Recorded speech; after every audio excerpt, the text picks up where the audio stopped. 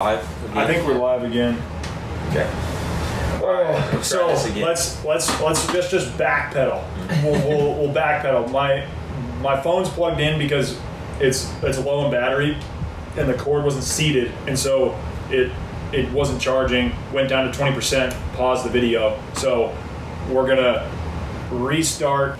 So we're gonna restart the the little drought section of this whole thing, um, and and then we'll for that beginning piece is going to be lost to the ether. It, it wasn't saved or anything like that. So we're just going to rock it from here and Restart. Yeah, we'll Start restart. over. We'll start over for from the drought management episode.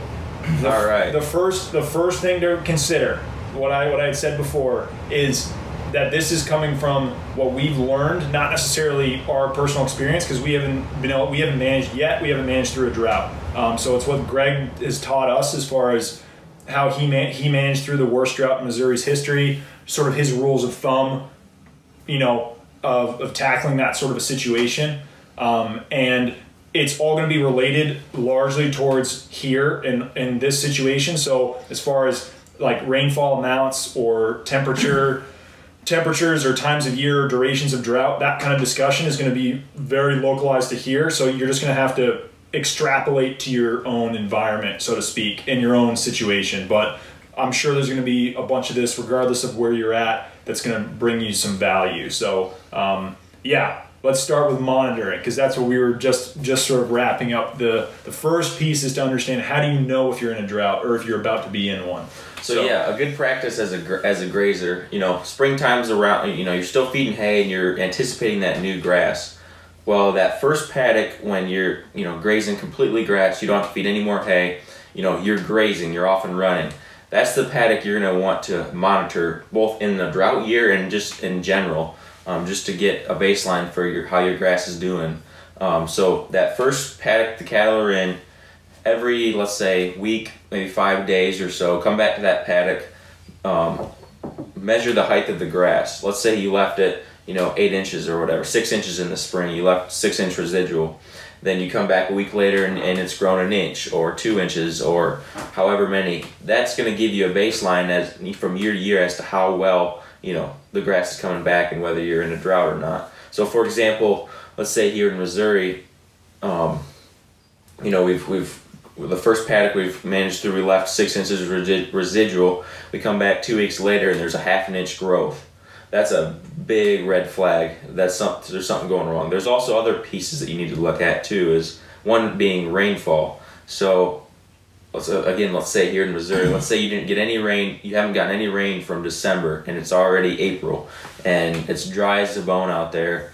Um, and you're starting to see also temperatures another thing to watch so you're starting to see 80s 90 degree temperatures in april may that's another big red flag and it's it's going to be different in your environment depending you know north or south where you're at east or west same thing um, and so you know using those those three things the the temperature the rainfall and your your grass growth you're going to be able to determine whether you're in a drought or not. And part of it is just you know getting that baseline down and understanding as a you know from year to year what what your grass is doing and how how quick it's growing back. But if you've if you get those signals that oh my grass really isn't growing, you need to really very quickly make your drought plan or have it in you know implement. Yeah, implement drought- it. You should implement your you should plan. have, and when we say drought plan, it's essentially just a plan of action, Mm-hmm. right? So if I don't, if I if I am indeed seeing the signs of, that's the first part of the plan is to monitor. Well, If you indeed are checking those boxes of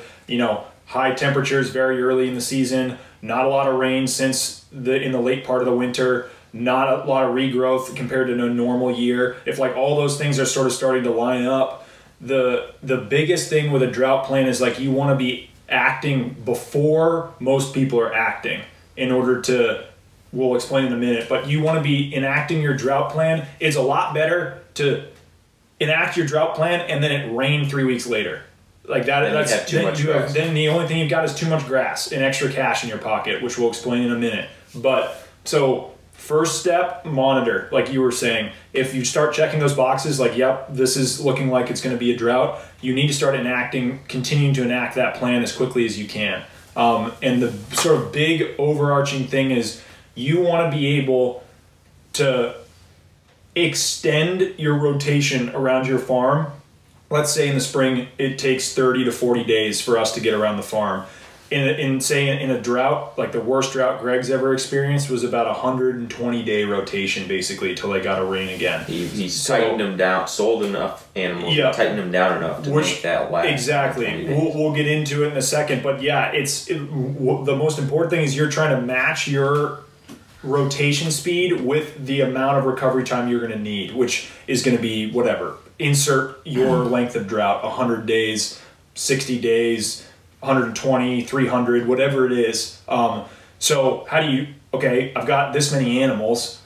There's two options, right? You can either feed those animals something to supplement them so that you can maintain your herd throughout the drought, right, until the grass starts growing again, or you reduce the number of animals because you have a set amount of feed because it's not growing, and you reduce them enough so that you're able to tighten them down and make your rotation last 120 days or whatever around your farm. Those are your two options. And we were instructed and understand that the option of feeding is not a route you want to go. as far as like supplements. As far as supplemental feeding, as far as hay or anything else, like especially what for what we're talking about, we're talking about grass-based systems. So we're not feeding our cattle grain. That's like a different discussion. But if you're if you're if you're supplementing with hay as like your feed during the year, during the winter or the non-growing season, one of the worst things that you can try to do during a drought is just be like, oh, I'll just hold on to all my animals and just you know feed all the hay that I bought for the winter or all the two year old hay I've got lying around or whatever. That's it's a big mistake. And that was something that I was like, huh, I wouldn't have necessarily intuitively thought that. You know, I'd think, well, I got the animals, like they're more valuable than the hay is. I might as well just feed the hay. You know what I mean? Mm-hmm. But we, we can get into this, but this is like it's definitely a mistake. So the correct direction is to destock, but we can explain why why you shouldn't be feeding that hay. You Yeah. want to get into that? hay. Yeah. So yeah. think about it in a drought. So let's say you know the previous year you bought your hay at 30 40 dollars a bale, whatever it's going for in your your area. Um, you know you maybe brought in 100 bales or something. That next year, you know you've got maybe 50 bales left over from the winter. And you're you're you're going into summer, and then it becomes a drought. You're like, oh, I just got these. You know, I still have these 50 bales. I only paid 30, 40 bucks for them. I might as well feed them. You know, it's it's good value for the drought because I don't have any grass.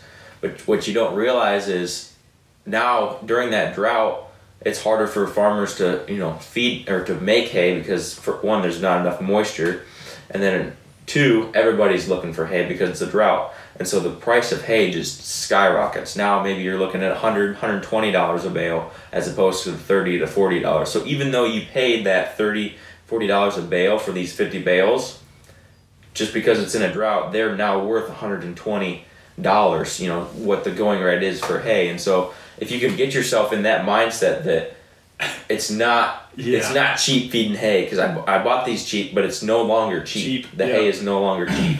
Just so like every time you feed a bale during a drought. Just think, okay, I'm spending $120. Is this worth it to spend $120 to feed my cattle, or should I, you know, Yeah. like that's that's the uh, mindset that you should be developing Mm-hmm. just because it's just such a because like a lot of people well i'll just feed this hay it's gonna it's gonna rain it's gonna rain next week i can i just know it's it's gotta rain it's gotta rain it's you know and you just Yeah. keep feeding these the hay and then eventually you're out of hay you've got all these hungry animals you're out of grass what do you do the sale barns are flooded you know you, you You're not even taking cattle. you're not taking cattle. You're not getting any money for them. You, you just end up, you know, maybe having to shoot a lot of them or you know put them down. It's like just a bad, bad situation to get in, and that's obviously Extreme, extreme, yeah. extreme cases. Um, But but not that it can't happen. it's it's going to hurt you financially at the bare minimum. Mm-hmm. Um, and so, like we said, the worst thing is you. So the proper route is destocking. The worst thing is you destock. It rains three weeks later. Now you've got way too much grass. No one's ever, you know, no one's ever, no one's ever like gone out of business because they've got way too much grass. You know, so. Um, so okay, so now with that being said, all right, we understand you monitor, then you then you start implementing the plan. You don't feed hay, you start to destock. How do you even go about destocking, right? Because there's a process to do this because there are animals in your herd, and we're coming from a cow calf seed stock operation. Mm-hmm. There's animals in your herd that are worth a lot more money than other animals, and so the overarching goal through the destocking process is to do it in steps and start with your lowest value animals first, progressing to your highest value animals last. Your most precious. your most precious. And so we'll we'll talk about that. And then also this is again the reason why you want to be acting early because you're monitoring because everything that you're selling if you can do it early you're going to be ahead of the curve as far as prices and markets getting flooded. And so if you can be ahead of the curve those lower value animals are going to bring a higher dollar than if you fed hay, fed hay, fed hay, fed hay, and they're like, all right, I'm out of grass, and we're it to the sale barn, and then prices are just absolutely in the basement if you can even get if you can even get them in. But if if you can't get them in, you're still going to get absolutely nothing for them. Mm-hmm. Versus worst case scenario, you destock, sell a bunch of animals, have a little pile of cash sitting there. It rains. You either I don't know invest in something on your farm, buy more animals in. I mean, there's a lot of things you can do with with some some extra cash in the business. So anyway, the process of destocking though the first, the first and least valuable animals that you need to get rid of in a seed stock in yeah in enterprise, this yeah. enterprise is um, your your non-breeding males, so your steers, any any male steers, and even if you have some some bulls that are breeding animals, but they're not your your top bulls, you can get rid of that. You know, get rid of them too. So steers Extra and, bulls. and you know extra bulls. You want to hold on to your top three, four, depending on your size of your operation. Three, your your top. We call them like the macho bulls. Your Your- your best of the best. your that you're gonna- that, that, that you're going to be breeding with. Those those don't get sold, but everything else, every other male can be sold. So that's the first step. The next step is Well, I guess the first first step would be like anything you have on the chopping block oh, as far yeah, as a yeah. cull. So like anything that you already were like probably gonna bring her to the sale barn or him to the sale barn next week or two weeks from mm-hmm. now. Like obviously those are the ones yeah, you go for you first. should always have a cull list as to for for in the drop situation Yeah. where you just okay these ones need to go blah blah blah blah blah blah they're gone, and then that gets rid of a chunk of them, and then you go to your Yep. steers Yep. and your and your bulls that y- your your non breeding or your non priority bulls. yeah. those get gone. Now you're looking at, you know, now what you're left with is your females and your calves. Um, and so, um, first thing you look at, which is kind of along the cull line, but any uh, pencil-legged heifers, as Yeah. Greg calls them, Yeah. any of your your lower quality breeding stock, breeding heifers, um, stuff that's a little bit too leggy that you that you don't you know than you'd like, or you know maybe they've they're not built right, or they're kind of they got a little bit of a temper, or They're kind of scrawny yeah, or something. like some if they have like knocks against them, you can get rid of the heifers or younger cows, and then the next thing you look at is older cows. Anything you know, eight, nine, ten year old cow. Yeah, she's still a good cow, but you know she's starting to come out of her prime. You've got younger ones on the way up, so then they go first. So your, your objective is one to keep you know your breeding bulls because you need those because you need to you need to be able to breed your cows. But the most valuable animals that you can hold on to is your your top heifers. Like that's the most valuable thing. You do not want to. I mean, that's like last resort break into. Yeah. That's like when you you just have no grass. and Heifers you have to and- get out of heifers and like really young cows. Yeah, Yeah. like young breeding females Yeah. and, and like prime breeding females, like your Yeah. best of your best. Those are your those are what you want to hold on to as as w- much as you can. Um, Yeah. but that's kind of the progression. Yeah. Your culls, your steers, your non-necessary bulls, Yeah. pencil-legged heifers, old cows. Yeah. Then you just kind of work down, and at, at that point you're going to be pretty well destocked. Like That should be down to you only need to like Yeah. do you know like depending on your situation you only need to destock destock to the point where you can make that rotation last long enough to Yeah. get, get through the drought yeah. um, Yep. And and you can go and and and obviously the more you there's like different schools of thought because like the more you sell in the beginning, the better price you're going to be if the drought continues to continues to happen.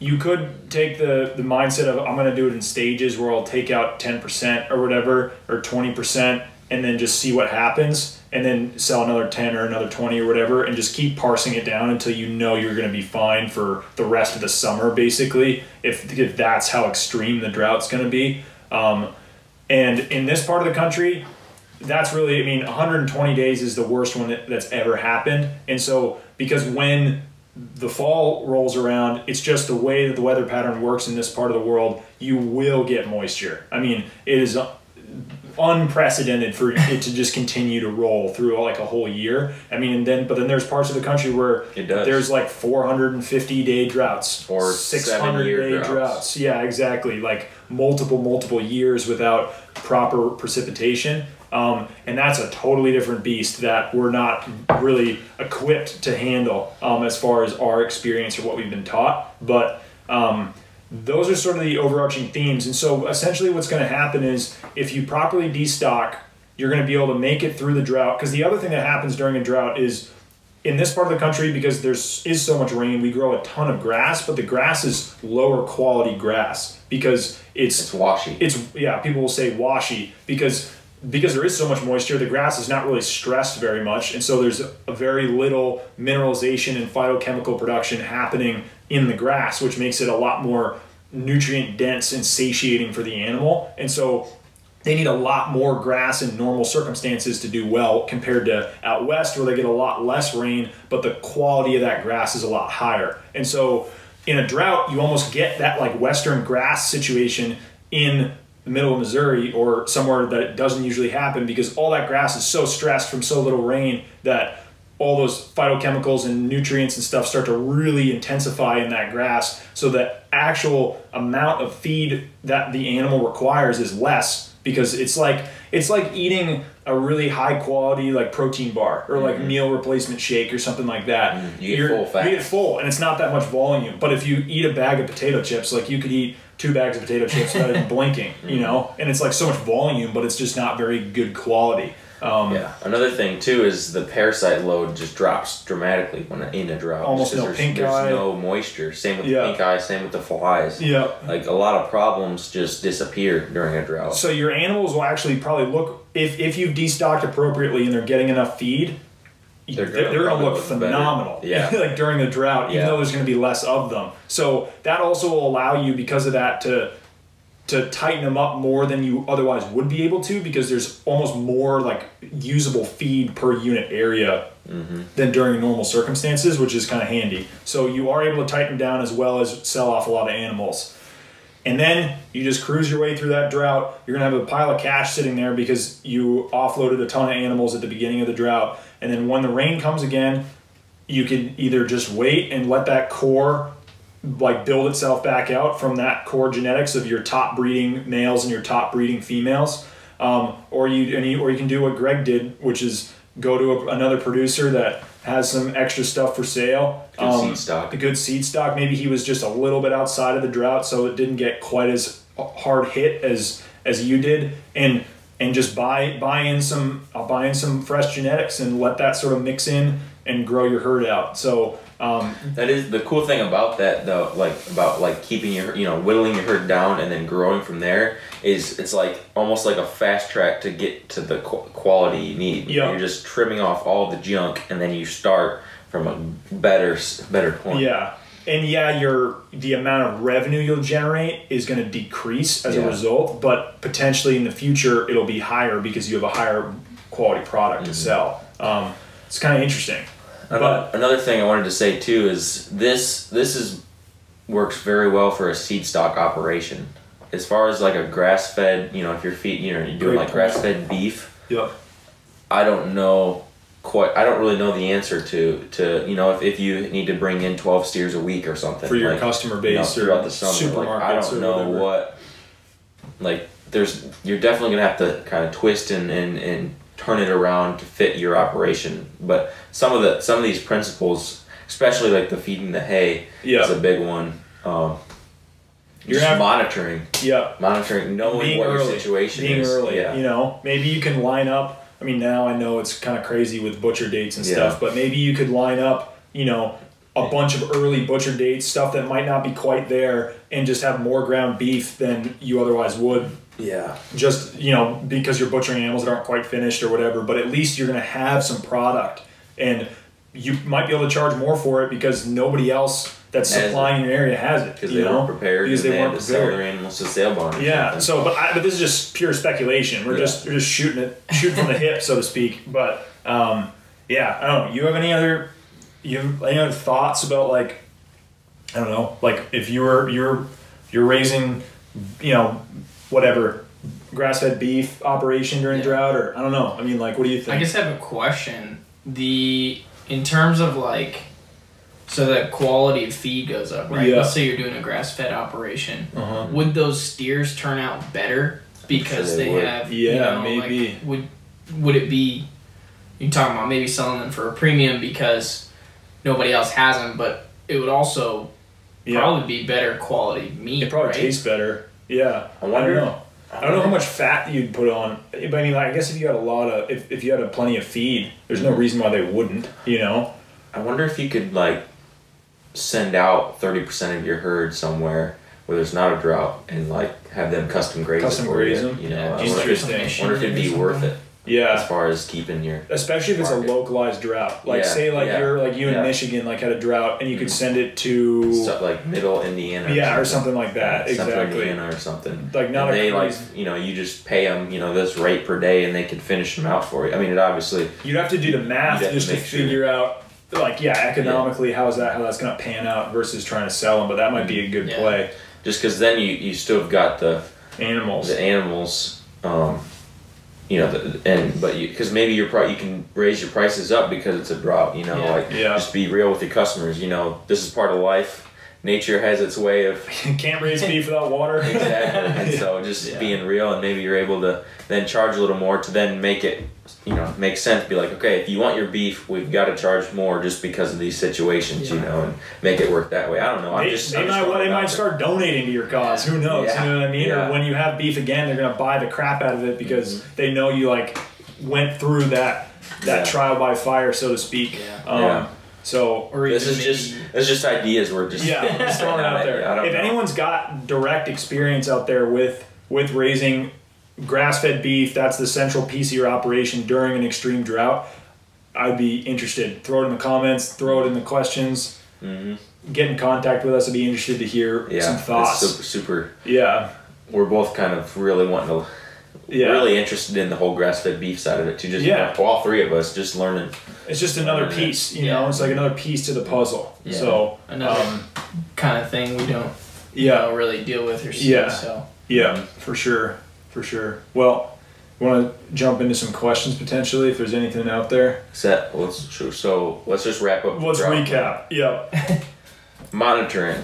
You know, monitoring your your rainfall, your moisture, and your grass growth in the original paddock. Yeah, Or yeah, rainfall, temperatures, and yeah. and your grass, grass growth. growth. Grass growth's the most important one. Yep. Yeah. Um, those three are your, your key indicators as, to, as to a drought, you know, in the springtime. So you monitor, and if you if you're in if you notice you're becoming into a drought, you need to destock. That's your next rule of order. And Yeah. in the destock order, culls, then to steers, then to secondary bulls, then to your pencil-legged heifers, then to your older cows, old grandma cows, and, then, And your core group of heifers and young cows, young breeding females, And is your prized possession. and Like, prime breeding males. that- but and, yeah, and your prime. But if you have to, if it was gun to your head and you had to choose between your prime breeding females and your prime breeding males, get rid of the males. get rid of the males because they don't give you a calf every year. Mhm. So you could you can source you could try to source a you could try to source a bull from somewhere. But that's like extreme, Extreme extreme, case. case. Yeah. Like Um, man, I Um, don't want to think about it. I don't know if that's. I don't know if you get to that point. Yeah, at that point you might be out of the cow business. Maybe, but, but like at that point, like you know, you just keep two bowls and maybe you sell like Yeah. two bowls is not that much more. So you just hold on to those two Yeah. best bowls, Yep. and then make, it might be worth selling two of the worst, worst of the best heifers just to hold on to those genetics. Yeah. I don't know. But anyway, that's basically it. And it's just always about it's being it's about being early. It's better to Oh, destock. don't feed hay. Yeah, don't feed hay. It's about being early, and it's better to destock than feed hay, and it's better to have too much grass because it rained three weeks after you sold a bunch of stuff off. Mm-hmm. That's a way better scenario than feeding hay, praying for a rain. It doesn't happen, bring stuff to the sale barn. They won't even take it. If they do take it, they're giving you like two sh- two pennies and telling you to, you know, turn around. It's a terrible situation. Yeah. So just be proactive and have a plan. Just feeding hay, Oh, we forgot for the important part. Take a vacation. Take a vacation. That's a big Oh, one in the summertime. So in that in the drought of 2012, Greg and Jan, they had interns. I think it was Meg and someone else. Yeah. Um, and they if, if you guys Greg- are out there, let us know who it was. Greg, Greg set up like 27, 25 paddocks ahead of time, and then him and Jan just left and went to New Zealand. yeah, New Zealand for three For- weeks. yeah, for almost three a, weeks. Almost a month. during the heat of the drought, and and in New Zealand, he's like it rained every day. there, Every and- single and- day. and he was just like, I mean, it was good for him. It was good for both of them to get that break away from the farm, get that break from the stress, and just kind of recoup and come back at it. And he said he, he came back that you know after his vacation, the the cattle had looked phenomenal because they were because of the highly mineralized grass, and they were getting you know enough to eat, and they were still moving, and they were so they were super, you know, still super content, and the and. Uh, you know, they made it through the drought, and, it, Yeah. and he was a lot better. He had a lot better perspective and, and mentality going into it from that vacation. So that's a that's an important one. And you don't have to take a three week vacation to. New but, Zealand. But um, you can even just taking a weekend yeah, or, just going like to a cabin in the woods somewhere and just somewhere where it's raining. No.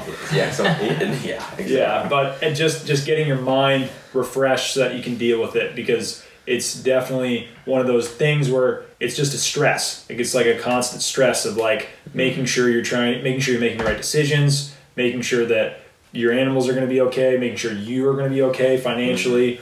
It's it's a lot, and so just taking that time to reset gives you a little bit of rejuvenated energy to hit, to attack it again when you come back. So. Um, yeah, because a lot of people will get into the trap of, oh, I can't leave, I can't leave, stuff's going on, stuff's going on. If you left for a day, n- nothing will go to hell in a handbasket. I mean, as long as you, as long as you, you know, like Greg said, he, set up a bunch of paddocks for his interns to make sure they were all set and knew what the drill was, and and and off he went. So You could even give your your cattle two pa- two days worth. two days worth of forage. forage, and Give them that and leave and come back. You know, Yep. it's not going to hurt the cattle. That you know, it's not really going to hurt the cattle, and it's going to be so beneficial to your own mental me- mental state. that it will end up benefiting the cattle because Yeah. you're because you're going to be making clear, more thought out decisions that are not just full of emotion because you're you're all drawn down from dealing with the drought so much. So yeah, we almost forgot that. That was I one of know. the I most was thinking that. important Like, points. oh, yeah. yeah, um, yeah. So there you go. Have a plan. Don't pray for rain. Yeah, that's Yep. a bad trap to be in. Yeah, Oh, it's got, it's got to rain. It's got to rain next week. It's Yep. got to rain. yeah, Can't be a drought this long. yeah. Just hold on a little bit longer. Just Yep. a little bit longer. Pretty soon your cattle look like skeletons and you're out of grass and you're having to put them down because you can't bring them to the sale barn. It's a bad, bad place to be. Anyway, Anyways, that was that was good. That was good discussion. Um, now we now we got questions, comments potentially. We Um, there are no questions. Really? Awesome. There are some comments. If you want me to read those. Yeah, whatever. Let's see. We got a. Uh, this is a great topic. yeah, So, it is. it is a good topic. Um, I mean, with these, it's always we go. There's no time limit, so we'll, we'll just go as long as it's interesting. If if people are if people are, are satiated and satisfied with the discussion, and that's then with that's us. good with us. Um, it's just But if you have if questions, you have don't questions, be afraid, don't be afraid them to ask. It doesn't have to be about drought management. It could be about sheep. It could be about what What we we've had been doing this spring, what we had for dinner. Um, it was beef stew, even though it's like 85 degrees out. Yep, not a very good. Not a, not a good decision, but you know, it was it was delicious. It was delicious. Um, um, let's see. We got one. What's the sheep plan during a drought? um, it's pr- it's a sim- it's, it's pretty same. similar. Yeah, I would say it's it's almost identical as far as as far as um, Destocking. destocking. Yep.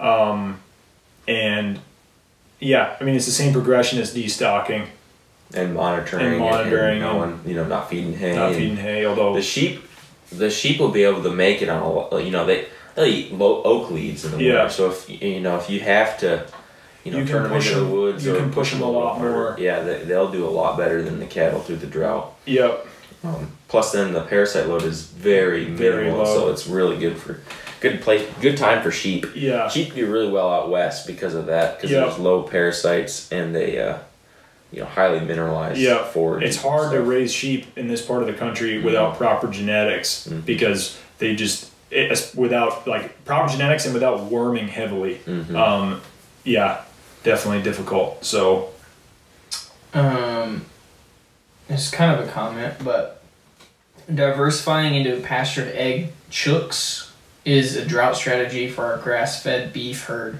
Hmm. Allows me to run a stocking rate lower than peak.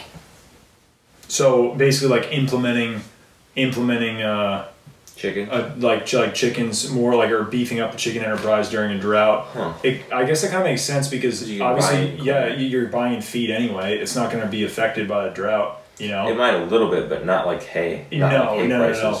Es- Especially since the feed you're buying is most likely not manufactured like down the road. You know what I mean? Like Mhm. it's probably Somewhere it's somewhere. Well, it's it's probably somewhere where where they're where it where, like the manufacturer's pulling from like a lot of different locations. It's not it's not just from one spot. Mhm. Um, so yeah, but again, it, that yeah, it's interesting because it definitely would help supplement for Your sure. Income, yeah. Sell, Yeah. sell some cows and invest in the chickens. Invest in chickens, yeah, or sell Or some cows pigs or pigs or, or- or something that whatever. requires feed. But then it's like, do you have the market to do that? You know, Yeah. maybe if you, yeah, maybe if like I maybe mean, if, if you were selling selling a couple of beef, them, or if you were selling a couple pigs, it just wasn't a big deal. It was a little side enterprise. You just, grow that. and just grow that. And then maybe after the drought, then you can go back to the cattle, and then you still got the pigs. The and pigs, then you just yeah. screw your business because Yeah. of your drought plan. Yeah, uh, that's an interesting thought. catapults you up a little bit. We didn't even think about that. That's kind of cool. Yeah, Yeah, something that requires feed rather than grass. yeah. It's the, there's where the advantage comes in. Mhm. That's well, feed that's not hay. You know, Yeah. yeah, feed that's not that's insulated from a drought. Uh, what is your average lamb slash ewe rate? Um, 1.5, 1.6. Yeah, I mean, last year was the highest that Greg's ever had, and that was 1.8. Um, I think we might be close we this might year. be, we might even be higher. We just have had a ton of triplets this year. Mhm. I mean, for those sheep people out there, I'd be interested as to why, what causes triplets, you know, and like why do you have more of them? Good forage, although we pushed the sheep hard this winter. Hard, yeah, and yeah, I don't know. we've been pushing them hard this spring. yeah, so maybe they just need to be pushed. No, um, be stressed. stressed. Um, Stress them out. Uh, no, but like 1.5 is like a is like a pretty pretty normal estimate where it's like you're you're gonna have mostly your older ewes should be having twins and your and your younger ewes will be having singles and so if you've got a mix of older and younger ewes in your flock you're gonna have those ones and those twos are sort of gonna like balance themselves out to Mhm. to a, to a half a half a lamb There's a ewe in there, black dot. yeah She had a single last year and a single this year, but Yeah. it's a nice looking lamb. Yeah, don't it know. looks like one of our best rams. Like it, like it's the same color. Like the Mhm. two of them look exactly this, almost identical. We had a we have a lot more color in our lambs this year because we've there's three rams out of four that have some color on them. Yeah, One is like almost all color. he's, he's like modeled sort of like rusty brown Mhm. on like on He's a white pretty. background, super pretty. But we've got, I mean, that's the cool part about the lambs is that it is like every color pattern imaginable. Yeah, it's so cool. There's ones that are like mouse color. Ones that are dark, dark brown with like a white face. Mhm. Some that are totally white. white little stockings. Or black stockings black or- stockings or it's crazy. or black bellies and There's one that has like like brown goggles. Yeah. They're like white, like brown goggles. Yeah. It's so cool. Yeah, But- the sheep are the one with the white tail. You remember yeah, that one? that's why it really, it's it's it'd be kind of cool. I mean, like obviously, if your market is is South Pole or whatever, you got to do that. But if you had a herd Yeah. that was just um like absolute grab bag of colors and Just and so unique. just so different, you know, if there was a lot of variability. You could remember then who whose cat. Yeah. Yeah, that. exactly. It's like, It was oh yeah. they all look super different. Um, yeah. Yeah, there's some South African cattle breed that looks like a Oh, Jason yeah. Jackson Pollock painting or whatever it is. It's uh. It's like Nguni Yeah, it's cattle. Nguni. Yeah, so beautiful. Mhm. I think they look so cool. But Longhorns have a lot of Yeah. variation yeah, in their in their in their yeah. colors and stuff. Uniform colors boring. I like Yeah. I like I like variability. But anyway, I'm yeah. gonna, it's gonna bring up the the belted Galloway The Belted Galloway question. question all over again. Um, uh, Yeah, the one thing that is nice about white sheep though is that they're very easy to spot. Mm-hmm. Like when you have brown sheep or black colored or whatever, like spotted and stuff, they can hide a lot easier. Yeah. Yeah. Yeah. Except in the wintertime, and then they're invisible. it's- Yeah. Yeah. And there's snow on the ground. It's so hard to see the sheep. Yeah. But And anyway, then when the Rams get out. yeah, chasing rams through the snow. Where is he at? Where is he at? Yeah. I had a thought when you guys were talking about the stressed, you know, stressed lambs or stressed ewes and stuff. Yeah. I wonder if it is a natural response to where they Any put more? out more lambs Hmm. in a response to try and keep at least one of them alive, or I don't know. Yeah. You know, Kind of like how like plants when they're stressed they'll put out They put out a seed head really Yeah. quickly. quickly Yeah, but it, then the, the counter argument to that would be like it's a lot harder on the mother to do that. to nurse Yeah. three at the same time, which is And if which they're already increases stressed. your forage demand. Yeah. I don't know. I don't I, mean, know. this is It was just a we're thought. we're, just throwing, we're just throwing something at the wall and seeing what sticks. Someone, someone in the comments is gonna is gonna let us know what what causes triplets in sheep, other than genetics, but because it's the same use effectively as last year for the most part. It's just there's a bunch more that are having three. Mm-hmm. Yeah, I don't know. Interesting. interesting stuff. Um, Greg mentioned something about a cow named Deer. Is there a story there? Oh yeah, this is the good one. So deer is a deer was born last year. Um, She doesn't have a tag. she doesn't have a tag because we know who she is. Um, she, she again, she's got a unique color pattern. Yeah. Um, she looks exactly like her mom, brown on the top and like white belly underneath, um, like a deer. like a deer. And but the reason we call her a deer is because she is just spooky. Like this, we're gonna sell her at some point because Maybe. she's really she's she's really good looking. Like as from a build perspective, she's super pretty. She's actually calmed down quite a bit, and she, she, has was come for a down. So this was how spooky she was as a calf. I remember we were over on the ridge over here in the North Place, and she Yeah, had been born for I don't know. She's a couple, maybe a week old, something like that. Like old enough where she wasn't uh just a newborn calf. She could get up and run around, and the grass was really long, and we just did a paddock move.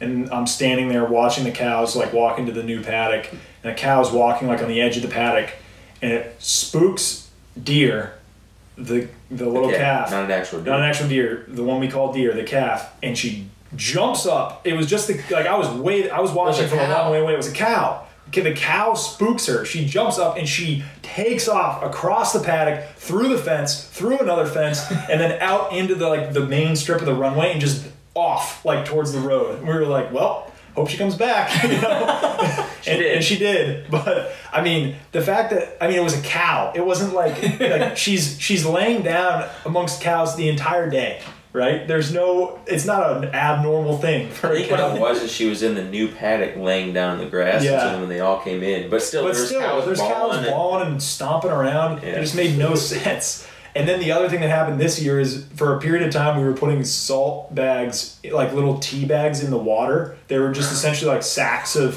sacks of like salt that like in, a, in a in a feed sack essentially. So it was so so it's it's perforated right. So we were getting a sort of a salt brine in our water, whatever is this thing we were working on earlier this spring. So the the on the tire tank there's a cross piece that's like a PVC pipe that keeps the cattle from getting into the tire tank. And so we tied the little piece of baling twine to the top of the to the cross piece just to keep the bag from floating around. And we're sitting there watching and deer comes up to get a drink. She walks up and she sees the thing floating in the water and she almost falls over. She runs away so fast. Like, oh my god, what was that? And then she'll like she like Stops and- stopped and then like creeped up to the edge and then lifted her head up over and then scared herself again and went running back. Like, there's something in the water. There's something in the water. We finally just left. We finally just left her. She was like all night. She was trying to go get a drink, but she couldn't let herself because there was something in the water that wasn't usually there. Oh my goodness. Oh god, yeah. Yeah, we need to sell She's her. she's a piece of work, but um, She's, I she's- haven't noticed her recently. yeah, she's calmed down. quite She also has the funniest voice. It, it sounds like a I don't even know how to do it. It's like a it's like super high pitched. It's like a whistle almost. it literally said it's like a She's whistle. calling for mom. It's like a whistle. It's so she is so funny, And but she's like a 600 pound, 400 pound probably four hundred fifty pound calf. Yeah. Man, she's bigger than that. She's now. probably like six. six hundred Yeah. pounds. Heifer, but she sounds like I don't know. Yeah. It's I don't like even know what it's like a whistle. It's like. Ah, but we just ah. walking around, and it's just like she's the only Yeah. you can hear, just walking through the paddock calling for Oh. mom. And her mom had a calf, like, you know, like a couple weeks ago, something like that. Little bull calf. Which her mom moved up. I was yeah, surprised. I and her mom is the is abnormally calm Mm. compared to the rest of the herd. It's not like her mom's a piece of work. her mom, you could walk up and You probably could basi- touch. you could basically scratch her on the head and she wouldn't really care. I mean, she'd sort of amble off the other direction, but I mean, very laid back, spooked. She's not spooked. very laid back. And she has a little bull calf this year. Doesn't have the same pattern, And he's not spooky. and he's not spooky, at least not yet. Ah, he's kind of spooky, Yeah, maybe his But- sister's rubbing off. but not him. like not like crazy. Like he's that. Well, he's that one the other day when we were trying to get him through the gate. Me and you when he Mhm. was getting the four wheeler or something, and he ran past us, but then we got around and he was fine. Oh yeah. You know, that's he's not like not like He's deer. just a little weird. He's just a little bit spooky, but just like a normal calf, you know. Yeah. I don't know. She, anyway, that's the story of the deer. So if you hear Greg talk about the deer, That's what. that's Now you know. Now you know. Now you know. Um, are you guys clipping pastures right now to keep seed heads off if you can't get the mob to it quick enough? It's more following the mob, behind the mob, Yes, you never want to be cutting in front. hmm Never cut in front. Always behind. and no, we're not just because there's like two inches of water standing on the ground. Not really, It's like so wet though. it's It- when I say it's it's rained every single day for two and a half weeks, that is not an exaggeration. Almost every single day we've gotten a little bit of rain for the past two and a half weeks. And it's so- gonna keep doing that. Yep. So until it dries up, Greg's not getting his tractor out. I don't. We were talking about this yesterday, sort of jokingly, but Him, you and Connor. No, no, you, you and me, like the three of us, when we were walking with those with those people who came to visit about brush hogging. Oh yeah, yeah. Brush hogging is kind of funny when you think about it because you don't want to do it late in the year because it's you don't want to be doing it in the dry period because you're not going to get a lot of regrowth. But you can't do it when it's really wet because you're going to be rutting up your pasture. So there has to be this Goldilocks zone of dry but right before a rain that's the most ideal to do it. Um, which is just kind It's of really the only time you can do it Yeah, without tearing without something tearing up something or up or- sacrificing forage. Which it essentially at that point is sacrificing winter feed, Mm-hmm. which we sort of experienced to some extent on some paddocks this this past winter for sure. Places that got brush hogged later in the summer, we got very little rain early fall, and it hurt us on a stockpile on the stockpile front um, in the Mm-hmm. winter a little bit. But um, but you can't do it when it's this wet because you're going to leave ruts this deep. So it's just one of those deals. It's got to dry out a little bit more Mm-hmm.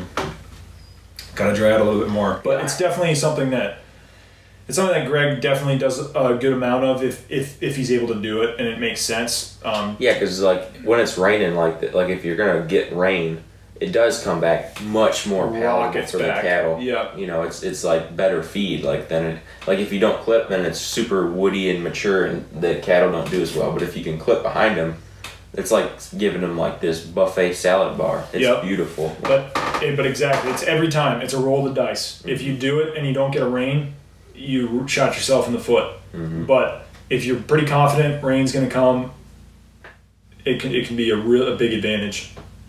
You can increase your gains by a lot Mm-hmm. doing that. So and also it, it, cuts down on pink eye a little bit too because they don't have big like uh, sticky woody pokey things that are irritating their eye as they're grazing. Mm-hmm. So when it's nice and lush and vegetative, you don't have that issue. hmm Something else to consider. And there's more energy in the Yep. in the in the forage. Which also helps combat lignified. also helps combat the pink eye. pink eye. Yep. Yep. Any more? For each of you, the funniest thing that has happened since the last chewing the cud. The funniest thing that has happened. I've got the one. last one. All right, maybe it'll The- spark my memory. The funniest thing was Isaac messing with one of the calves. oh and, like- my god, yeah. So he just like they they do little like flicky motions with their head, and he got down and like did the same thing to the calf, and it did it back, and then he did it again, and then it did it back. We were talking. And then I was communicating. yeah, and then she like mooed to him like, like- multiple times. Mm-hmm. And so Just like a little. He's tried to headbutt you. A little Oh, bit, it too. was so funny. It was yeah, it was like she was trying to. They play fight and stuff, and so it was like she was trying to do that with him. And It then she let me pet her, scratch Yeah. her head. which almost never happens with Yeah, calves. yeah. They're way too freaky. After you tag them, they don't want anything to do with you. yeah. It's So funny. 137. 137. We're gonna groom her to be the next 864. For people who are familiar with 864, She's the farm pet. she's the farm pet for no reason. She wasn't a bottle calf, nothing like that. She's just incredibly that tolerable of Eight- getting scratched, as if she loves it. 883, the bull, the big boy, Yeah. let me scratch him on the butt today. Yeah. He wasn't moving. I'm like, come on, buddy. And then I started scratching. He's like, Oh, that was good. kind of feels really There's good. another one like 918 you can pet as long as you move slow. Yeah. And and 998 or whoever that was, I got a picture of her sniffing my hand. Mm, she was doing it Oh, yeah, yeah, today. yeah. And then 787 is one that's. Yeah, there's and there's an older cow with no tag. They're like a blonde one with no tag that I was scratching on the head today. Oh, yeah. Like no Yeah. problem. It's like There's some that'll let you. Yeah. Especially if you're you're easy. That 840, that heifer, Mhm. the one that was riding the other day, Yeah. she's she she'll let you do it a little bit. you just gotta move slow. What, is, Just what does be- Ian say? If you want to catch a monkey, you gotta move slow. Something like that. Oh yeah. yeah. But anyway, um, Yeah. I don't know what I don't know. What is I that? can't. I can't think think of of what it is. I can't think of um, I can't think of anything. I'm trying to think of something Oh, that happened that funny. was funny. Oh man. Um, my family came. Nothing super funny happened there. I don't think. Um,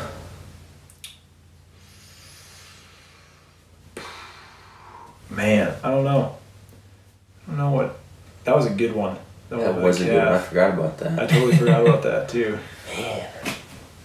Yeah, we have no fun here. No. All, all business. I don't know what Connor's talking about. Laugh. We never laugh. We never laugh. play games. No, I don't know. Nothing. Nothing. Nothing super. There was something, but I just can't think of it. It's like Yeah. Anyway, nothing funny happens here. that was funny though. Yeah, it was. Yeah. It was. Yeah. I don't know. I don't know. I don't know. I'll have to think Sorry of it. about that. We don't, we don't have fun. Yeah, we have no fun. no fun at all. All right. Um, what about feeding alfalfa pellets as a supplement during a drought? It is technically a grass just. Is it Mm. technically a grass just pelleted? Yeah, it's it's alpha dried alfalfa that's pelleted. Yeah. Pelleted. It's gotta be expensive. It's got to be expensive. A lot of probably go up times, to- I mean, if It a lot, you know, if you're getting, you know, alfalfa from, a lot of times it's either irrigated or because alfalfa needs a lot of water. Water. It's either irrigated or it's in a place that's got water, so it's probably not. You know, it doesn't. The drought probably wouldn't affect. expensive though. But yeah, as far as way. feeding, like Also, is there, there a risk with bloat with alfalfa pellets? I don't know if there is because it's the moisture on the, the legumes that Yeah. really really affects like dew in the morning if you graze Yeah. you know if you graze clovers or, or alfalfa in the morning you can have risk of it so I don't think the alfalfa pellets I bet it'd just be prohibitively expensive Yeah, to do on this kind of a worth it. scale. It. wouldn't be worth it. Even on any kind of a scale. Um, yeah if you're doing it for a business. maybe for the grass fed beef just to like supplement it a little bit but I don't know like enough about buying it. I don't know how yeah. much it, I don't know how much it costs like per pound and what, it, what it's like in You'd have to do the numbers. Yeah, but my gut says no this is gonna be way too expensive. Um, much better to have the money in your pocket from destocking than and then alfalfa. Yeah, trying to make it through the drought. I, Yeah. I would say. I don't know. yeah. You'd have to do the numbers. Interesting though. Have you guys ever messed with the wet wrapped hay bales? Um, maybe silage bales. Thoughts on them? Not here. I did a little bit at my old job. Um, they you've got to you've got to wrap them really well. If you have any kind of uh, air leak, it just turns to mold. You know what it's doing is it's fermenting in the in that. So you. Does that heat up? Uh, I don't think so, but it's it's uh, anaerobic. Oh, okay. So it's not like it's like Yeah. decomposing. It's just fermenting. Yeah. I don't know. Yeah. I don't think it is. Yeah. Um, otherwise, it you know probably burn. Yeah. But basically, like you take green chop, which is just freshly cut pasture, roll it up in a bale, and then wrap those bales in like he- heavy duty plastic. Um, I think so. Like this is like a whole discussion, but with the with with fermented foods, fermented foods are really good for monogastric digestive systems. Like for us, for pigs, for chickens, um, for for a ruminant system, their their rumen is fermenting the food, and so when you when you feed them fermented foods like, you know, silage, I think what it does is it creates very like acidic. It puts a lot of acidity. I'm pretty sure. Yeah. Um, there was something I was reading about it. So it's, It it's not as it's me. not as well. It's not as good for cattle. I mean, they gain well on it because it's you know very high in nutrients and stuff. But as far as like their digestive function, I don't think it's very good for them. And it's like there was something I don't remember if it was with corn or with if it was with silage, but like E. coli um, can survive in acidic environments and and Yeah. out in like in alkaline environments if like cattle are out grazing Yeah. they're more alkaline their E. col- the E. coli can't you know pass through but when they eat is either corn or silage or something Yeah. E. coli can you know develop and then in the beef and then you know if like the manure gets on the beef or whatever like then we can con- contract E. coli from the meat so yeah. I, don't, I don't I don't know there's there's a lot of science to it that I don't really know but I've read that somewhere Yeah. I think Joel Salatin wrote about Yeah, it in one you're, of his you're you're way off the deep end as far as what Yeah. I as far as what I understand, Mhm. but it makes nothing checks out in my head. Yeah. That's that's any that's any consolation to anybody. I, I think there's I mean I don't think the the silage is as good for cattle as like just grass. I think Yeah. it's it's hard on their digestive system. But I'm not a rumen or I'm not a Ruminant ruminant nutritionist? nutritionist, so I don't I don't claim to be. I've just read that somewhere or heard it somewhere. So Yeah. take it for what it is. Maybe we'll have a ruminant nutritionist. Maybe the maybe I'm completely wrong and he just, ah, nah, this is not right. Yeah, we're, we're gonna find out though. yep. Yeah. Put it on there. it Tell on me if. I'm wrong because I want to know. Comments down below. Um, how do you cull sheep out if you don't tag? Uh, we do it visually. So um, we, I mean, we get them up. I, I, I, I read in the comments from last week's or like last week, the last episode that we did, we talked about sheep, um, and there was some confusion as to when I was explaining or whoever it was, um, how many times we get the sheep up and when we cull versus sell. Um, so just to clarify that and answer this question at the same time, we we get the sheep up basically twice a year. Our sheep sale to our customers for seed stock happens in August. And then our culling sale, which goes to the sale barn, happens in July because we cull and we castrate like sort of on the in, the same moment, so to speak, the same instance in the corral. We're sorting off our culls and we're castrating our our, our rams that we don't want to sell as seed stock or keep for ourselves. Um, and then we get them up again in August and sell the stuff to the sell stuff to the to customers. But how we make that decision in July for culls is it's just visual um, because we don't have tag numbers. We don't understand who came from who and that you know any sort of lineages with anything or we we, we, we can't like mark down you know this ewe in December looked terrible. We need to get rid of her. We don't do that. It would be it'd be advantageous if you could. It's just it's not something that we do because the sheep are a secondary enterprise. But we just do it visually. So sheep come in if they look scrawny, if they've got dirty tails, if they've got like a weird swollen jaw, if they've got a limp, like anything that's off, they don't look prime and healthy because that's the like peak forage condition is in the or peak forage is in the is in July. They're on some of the best pasture they'll be on all year. If anything, the grass isn't super protein heavy and and so they're not going to have dirty tails unless they have worms um, or some sort of parasite. And they should just be looking awesome at that point. All shedded off, um, shed off, shedded, shed, Shed, someone? all shed off. shed off. Sounds awkward. Um, Unshedded. um, Oh wait, no, all shorn. Un, unhaired. Automatically shorn.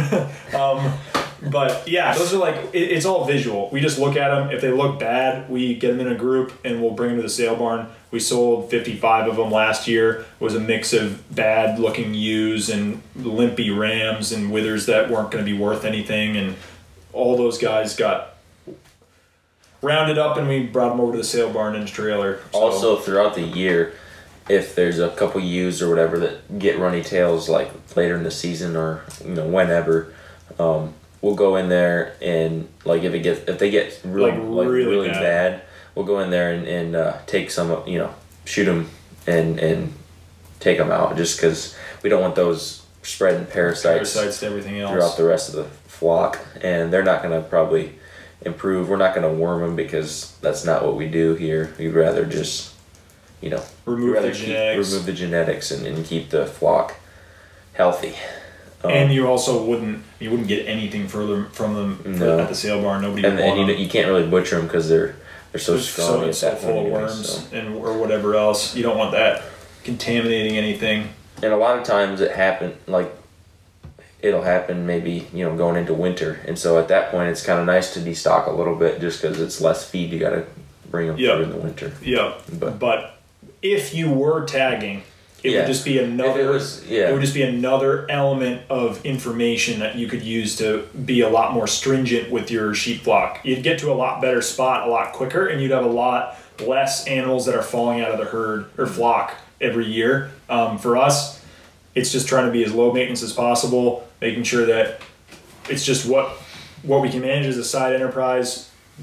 You know, it's all about managing workload, and it works and it works. works out Yeah, but if sheep was your full time gig, you could definitely I'd look into trying to figure out a system. depending on if you had 300 or 2000 Yeah. like if you had Yeah. 2000 i don't know if it'd Yeah, worth but it. but even but even like even um, uh, Greg Brann's system where he puts a tag in when something's wrong and then like puts a notch in the tag to indicate what it was. You know what I mean? Like foot problem or like thin or runny tail or Mhm. whatever eye like whatever he was talking about looking at the looking at the eye. Yeah, the lasso.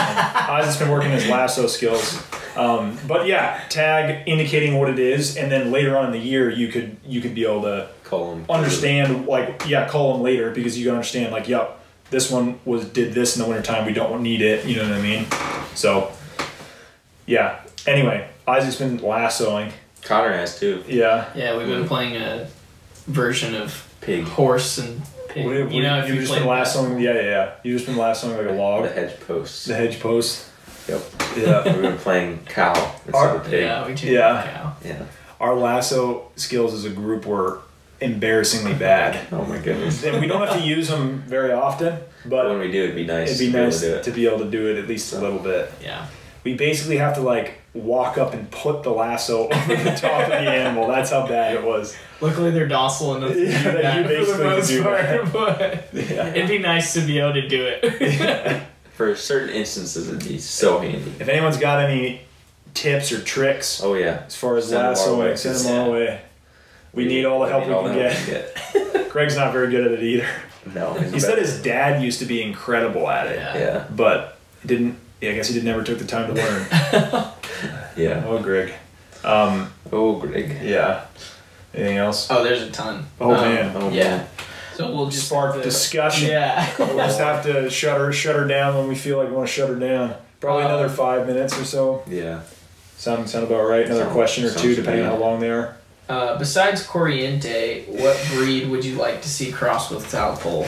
Uh, long time listener there. Gallo no not Galloway because no, well, um, because that's like the Galloway has very good hair Shoshona would be cool. Um, Dexter yeah, Greg really wants to see somebody do it with a Dexter, Mm-hmm. just for his own I- intrigue to see what would see what would happen. Um, I'd like to see like a like a British white maybe. They're, Yeah. they're good, good or Murray Murray Gray, but we already see that. Nguni Murray Town. Gray are so cool. Yeah, in Goonies, No, that'd be crazy. What color would that turn out to be? Who knows? every color. Yeah, It's especially like a four way cross. Anyway, um, I'd like to see a, a Murray Gray herd bred Murray Gray South bred to South Pole because we have They're one. so pretty. We have one Murray Oh. Gray. He Greg's had a couple over the years, and it's, she's not full Murray Gray. Somebody asked that, like, would we keep that bull if if if she because she had a bull calf Yeah. this year? Would we keep it for seed stock? I think it would just depend on the customer probably, and if he turns out to be a good bull. He's a little bit framey even even as a little guy, so we're just gonna have It's to watch. so it. early though, so Yeah. it's hard to. It is her, hard to her heifer from last year is beautiful. And, but what I was gonna say is she's not full blood Murray Gray. She's Half. half. or she might even be. I think she's half. yeah, She's like so her offspring if it's 100% South Pole bull, which it is, Will be three will quarters. be three quarter South Pole, one one quarter Murray Gray, which some people might get a little bit bent out of shape about. Some I, for one, definitely would not, just would because to me it's it's more about the performance of the animal than it is The genetic, the genetic or the pedigree, breed, the pedigree. Pedigree is better word. Yeah. Um, so, yeah, beautiful though, and her heifer from last year is just, I mean, unbelievable. A Yeah. beauty. So that would be a cool cross. I Murray agree. Gray. Murray Gray, South Murray Gray herd to South Pole. to South Pole bulls. yeah. Yeah, that would be, be so sick. awesome. I think that'd be my favorite. yeah. Oh, just to see. Yeah. Yeah.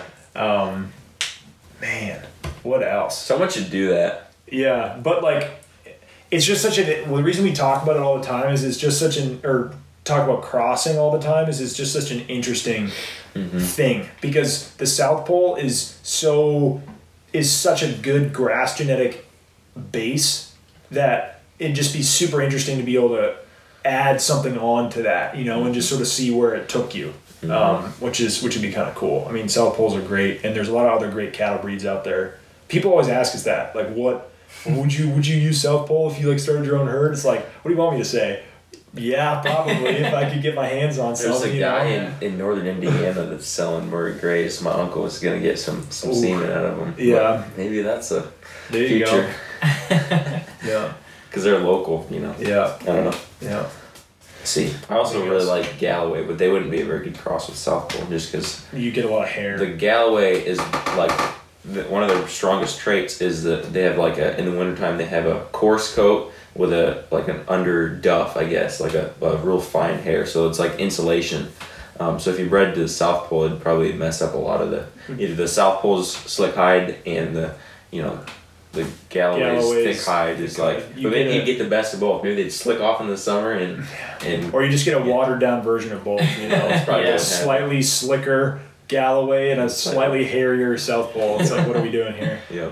But that might be I don't know if you live in a somewhat cold climate, It's somewhat like hot is climate. somewhat hot, like Yeah. Michigan, Yep. I don't know. could Be be a interesting. Solution. out. Yeah, definitely not good for Tennessee. No. No. no. we very want slick, Slick, slick, Slick. animals. Slicker. slicker than a snake. Slick. Oh, that's slick. That's slick right there. Slick. Another Gregism. Um, are you testing the pH of the urine when testing out the minerals? We did do a little bit of that. Um, Greg brought some pH strips Just out a, there. just a barely. barely. Um, not like I don't remember what it was. It was slightly alkaline, wasn't it? yeah. It was like It's like seven or eight. eight. It was like Yeah, eight. it was like eight. eight to eight point two or something. Yeah, which is what you want, I guess. I don't know. Someone, someone, let us know. Where's the cattle nutrition? At? I at? know. Nu- We need to, we need to get our, we need to get somebody on Had speed several, dial. yeah, You several. Uh, Yeah. Lifeline. Hey, uh, Joe. All right. We got One more, maybe. One, One or two more? more, depending on how many we got. um, there, I mean, there's a lot, but Find, find something. Find a- find a good find good, a good doozer. one. doozer, huh? I had a doozer. Find, find one, Uh, either a doozer or, a, or unexpected one. Yeah, like a, a good good ender. Something a good note to end. Pressure's on. pressure. Better be a good one. It's not on me. Yeah, it is. It's on you gotta the find people it. asking the questions. on. Start typing like mad. My thumbs don't move fast enough. Okay. Um. One of these days we'll get this also on YouTube, and then we're not gonna know what to do with ourselves. It's way too many Questions. questions to So I'm gonna take it back All right. to drought management. Let's Okay, let's, let's go wrap full full circle. I like it. When moving the animals in a drought or a summer slump, you tighten them down and they're moving slower across the farm. Wouldn't they be taking the grass down short? It's a good Yes. it's a good question because I I've, I went I remember one last year I went to a long DM conversation with somebody explaining how this works. Um, Whippoorwill's going outside. yeah, whippoorwill. Um, Every night. Yes, Every you night. are. You're gonna be taking it down Yep. shorter.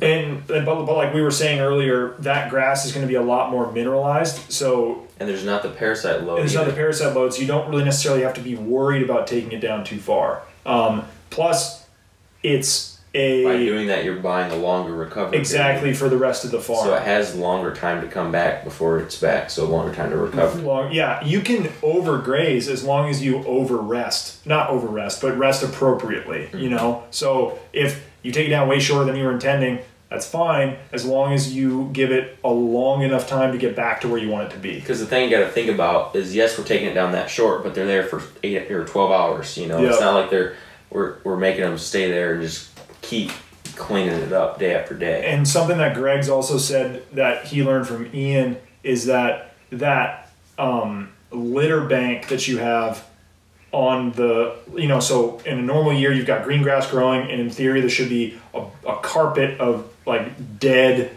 de- like partially decayed you know old um, fescue or grass or whatever that's been trampled on the ground from the previous graze. Um, and that's insulating your soil and is a huge part of the whole process. But in a drought scenario, you can actually graze that, or they'll eat that, or graze it down so you or you don't have that litter bank. And you're you can do that. You're allowed to do that as long as you put it back. Then, like the next time you come around and it's not a drought anymore, make sure You maybe maybe wait it. for it. Yeah, maybe wait for it to get taller and then just knock a ton of it on the ground just to replenish that litter bank, get that soil covered adequately again. Um, so yeah, you will be taking it down more, but you're increasing time, and that's what you need during a drought is time. So, yup, exactly. That was a good one. Good one to end on. Good Yeah. job, Connor. Nice. All right. Thanks, everybody. I'm sorry that there's a ton of questions you didn't get to. Ask them quicker next time. No. Uh, uh, no, it's all good. Answer quicker, you suckers. Um, I'm sorry about that little technical difficulty at the beginning.